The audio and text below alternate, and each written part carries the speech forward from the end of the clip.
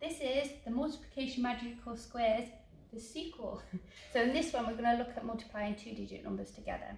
So let's say we've got 12 times 25. Last time we knew that if we've got a big numbers like this that freaks out, we can just chunk them up. So we've got our tens and units like this. So I know in my 12s I've got a 10 and a 2. In 25 I know that I've got a 20 and a 5. Okay.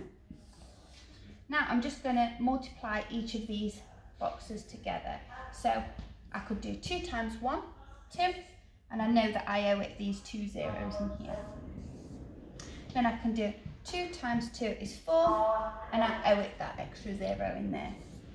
Then I've got 10 times 5, I've got 50.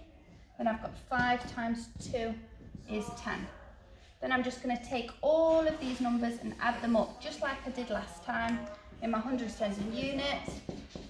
Okay, so I'm going to go 200, keeping it in my nice columns.